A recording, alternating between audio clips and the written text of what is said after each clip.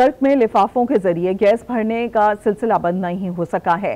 तहसील बांडा दादूशाह और सिटी में लिफाफों के ज़रिए गैस भरने का सिलसिला जारी है। चलते फिरते बमों पर इंतजामिया ने आँखें बंद कर ली हैं। इसी पर मजीद बात करेंगे। सब्ज अली हमारे साथ मौजूद होंगे। फ़िलहाल अपडेट करें आपको कर्क में। लिफाफों के ज़रिए गैस भरने का सिलसिला अभी तक बंद नहीं हो सका है। हालाँकि इसके खिलाफ हमने देखा था कि बहुत क्रैकडाउन किया गया था। पुलिस की जानब से भी मुख्तलिफ़ जगहों पर कार्रवाइयाँ की गई थी, क्योंकि इसका बड़ा नुकसान है। तहसील बांडा दादूशाह और सिटी में लिफाफों के ज़रिए गैस भरने का सिलसिला अभी भी जारी है और चलते फिरते बमों पर इंतजामिया ने आँखें बंद कर ली। अब किसी किस्म की कोई कार्रवाई नहीं की जा रही। सब्जली हमारे साथ मौजूद हैं। सब्जली बताइएगा, अब क्या सूरत हाल है जी बिल्कुल जैसा कि आप फुटेज में देख सकती हैं कि कुलम कुल्ला तहसील बांडा दौसा के मुख्तलिफ़ मकाम पर हमें ये जराए ने बताया है कि वहाँ पर जो तहसील इंतजामिया है खसूस असिस्टेंट कमिश्नर का जो अमला है वो इसी कारोबार में मुलविस है और ये एक मुनाफा बख्श कारोबार बन चुका है।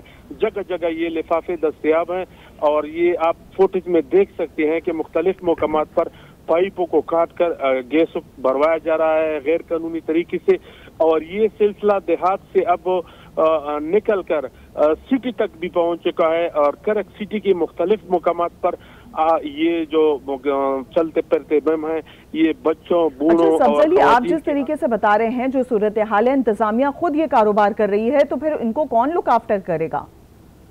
बिल्कुल ये आ, कुछ इन शाहिदीन ऐसे हैं जो बता रहे हैं कि जो तहसील इंतजामिया है बांडा उत्साह का उनका जो अमला है, वो महाना तौर पर इन दुकानदारों से बत्ता वसूल करता है और बत्त वसूली के ज़रिए वो जो अपना कारोबार है, वो जारी रखे हुए हैं। सबसे बहुत शुक्रिया अपडेट करने के लिए।